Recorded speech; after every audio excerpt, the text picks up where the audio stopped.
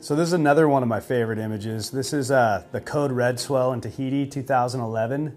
That day was mind blowing. I've never even seen the ocean do the things that it did that day. And, you know, it was right in the middle of a, of a contest and there was a bunch of the tour surfers out there watching. And a few of them gave it a go.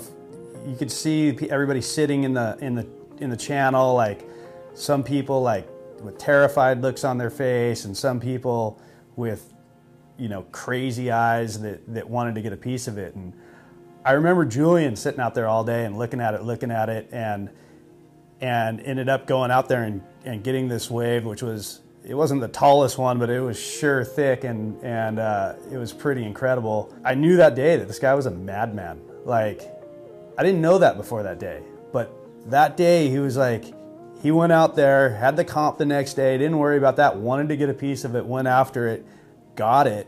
And so like it wasn't a surprise like during the whole Mick Mick Shark thing when he paddled over because I'd seen him this day go out there and, and, and face crazy fears.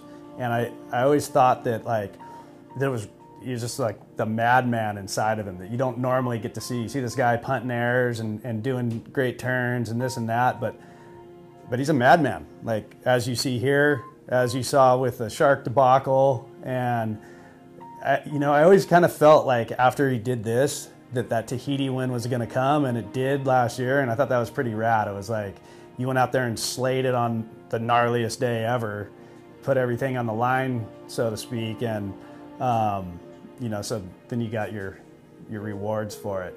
This this photo wasn't seen very much. I think it was an ad for for uh, Nike surfing at the time, and I don't, you know, I I always really liked it just just because of the just seeing everything that came together and knowing what it took to go out that day to put your, you know, uh, put your balls on the line, I guess. And it was pretty sick.